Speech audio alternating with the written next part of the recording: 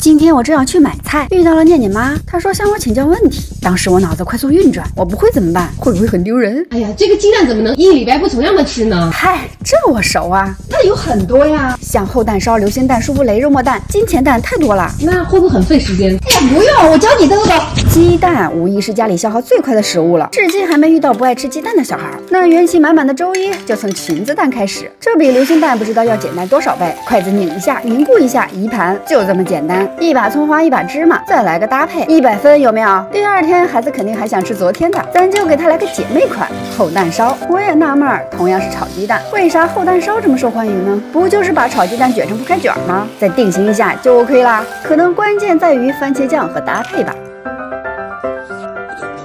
周三咱就不炒鸡蛋了，来个煮蛋。啥？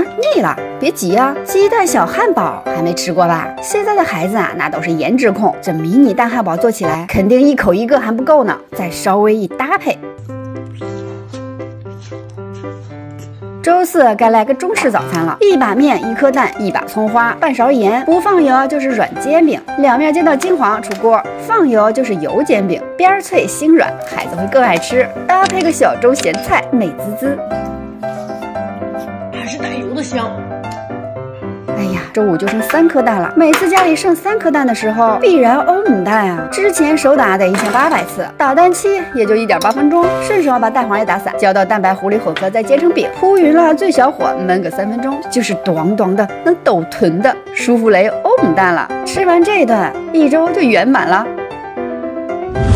一周不是七天吗？还差两种呢。都吃五天鸡蛋了，怎么不得歇歇呀？